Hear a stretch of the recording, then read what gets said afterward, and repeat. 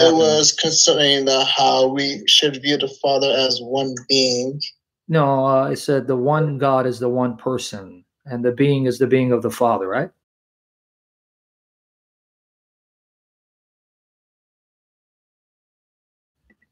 Yeah, so that's why I'm kind of conflicted. Would it be okay? Okay, I, I'm not.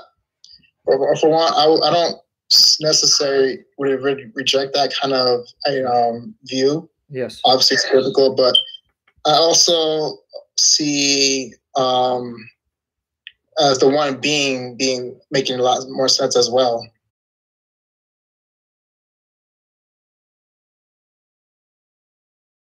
Yeah, I I, think they both- yeah, one being. So is the one being identical to any one of them? What is the one being?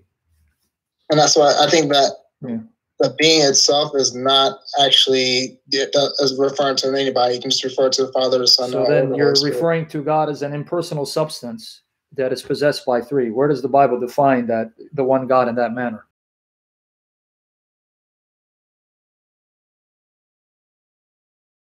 being when the Bible says one God, is the one God simply a being, a substance, or a person, according to the Bible, the New Testament specifically?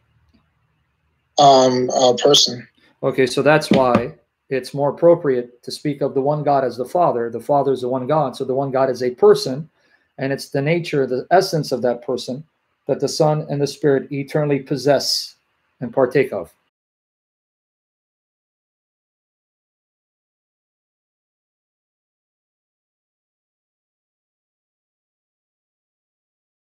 The early church fathers, the way they articulated the oneness of God, they referred it in respect to the one God being the Father because they were getting it from Scripture.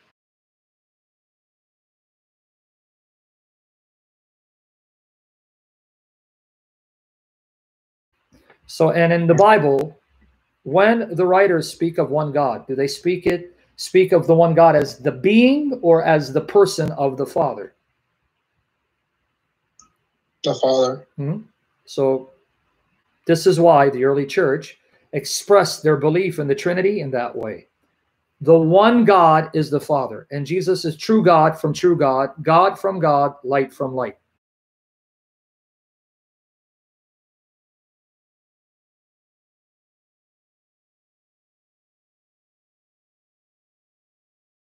That's fair.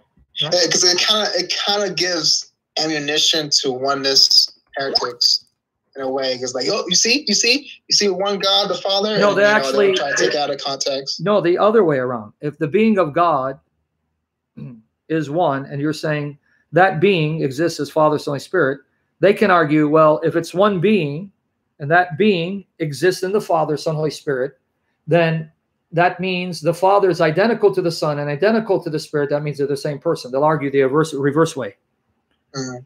right? Is the being of the Yeah. Father, okay, the Father is identical to the being of God, right?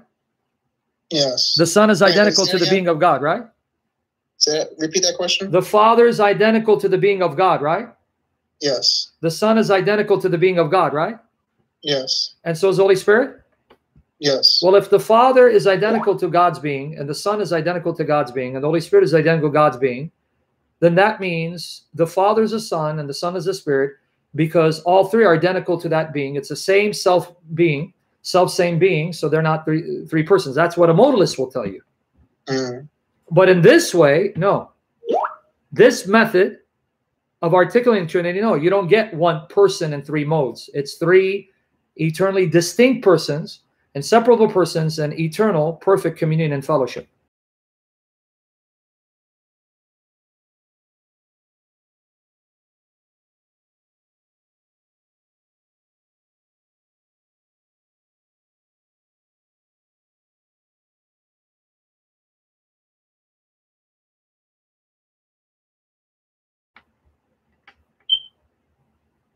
Right?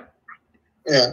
Do you have a follow up question? I hope I didn't put people asleep with this, and I hope I wasn't speaking over anyone's head, let alone speaking over my head, because this is above my pay grade. But everyone,